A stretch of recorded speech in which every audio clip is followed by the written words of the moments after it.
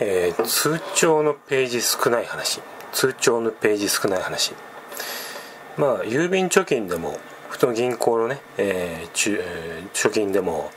まあ、通帳っていうのがあってまあ普段カードねカードで出し入れしますけどもまああのそれを記載するような記入するような、えー、通帳っていうのがあってまあ手のひらに乗るぐらいのそういうまあ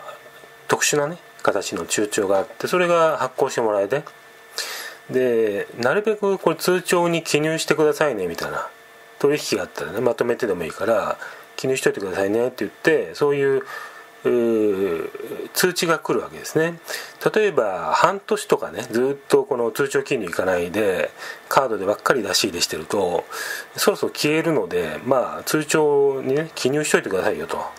じゃないと消えちゃいますよと。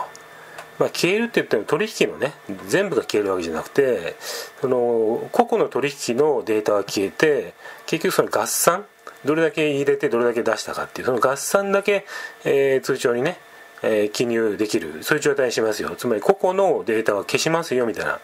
そういう通知そのお知らせが来るわけですね。私も何回も来たことありますけども、えー、最近はですね私はあの通帳記入まあ、月1ぐらいではやってると思うんですね。はい。だから大丈夫なんですが学生の頃とかまああんまりね、えー、そういう意識が高くない頃はですねいつもねこの通帳を記入してくださいねっていうふうに連絡が来て通知ってまあおはがきみたいに来てそれ無視してたら結局合算額合計額しか後で記入できないっていうそういう状態になっちゃってでもまあ学生の頃とかねあんまり個々のこの出し入れについては意識してないですし使うこともないんでね。えー、まあ確定申告とかしてなかったんで学生の頃はね。そういうまあ何ていうんですかね会計上のデータというかねそれを保存する義務もないし、えー、まだ家計簿みたいなのつけてたわけでもないし後から見返さないでそれで十分だったんですが最近はねまあ月1ぐらいでは、えー、通帳に記入をねしてるんですね。で私なんかね通帳の記入のその項目の量少ない方ですよ。うん。なんか通信費の引き落としがあったりとかはい。えー、あとまあ足りなくなったらねお金入れたりとか。うん。そういうことだけなんでまあ月にその何項目もやるこう記載するわけじゃないんでで大丈夫なんですがでもそんな私でもねえー、通常の記入欄が埋まってしまってあこれどうするんだろうと思ってこの銀行とか郵便局に行ったらこれは新しくしてくださいねって言われてで新しくしたりとかするわけですね。あの私なんかこの項目が少ないので出し入れの項目回数が少ないので振り込みとかもねすごい少ないのであのまあそれ足りるんですが数年に一度ですよ、うん、数年に一度。